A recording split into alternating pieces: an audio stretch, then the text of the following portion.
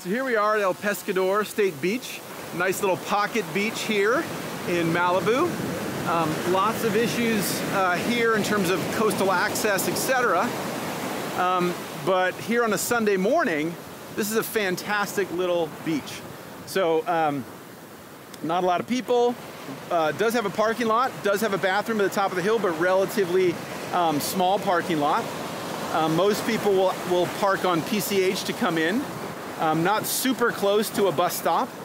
So you pretty much have to have a car if you want to get here, unless you live here. There's all these private houses. Right here we have our, our um, uh, personal private access point with um, uh, spy cameras on the beach from the owners.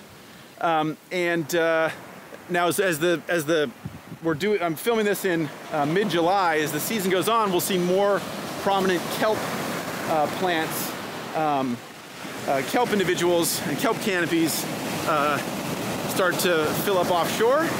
Um, and you'll see these people here are putting up their pop-up. They're ready to have a good day at the beach. Fair amount of trash here. Um, and it's an overall challenging spot, cool spot here um, at the beach in Malibu at El Pescador State Beach. We'd call this a pocket beach because it has the cliffs constraining us in.